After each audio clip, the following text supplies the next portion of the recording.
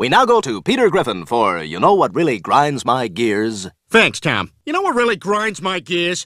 When I get to cover a story I really don't know about. This was requested for all you racing fans, so buckle up and get ready for some tough turns and possible bumps as I try to cover this. Lewis Hamilton will make a sensational move to Ferrari for the 2025 Formula One season on a multi-year contract. As reported by the Ferrari team themselves, Hamilton, age 39, was able to leave his Mercedes contact early after just one season to switch teams, surprising the racing community and his fans. But he stated it was not an easy choice. However, he is glad he made this decision. Hamilton is a seven-time world champion and winner of a record of 103 races. He will drive one more time for Mercedes this coming season before replacing Carlos Sainz the following year. Man, this reminds me of the time I was in a race. Almost there. Eat my dust, Lois.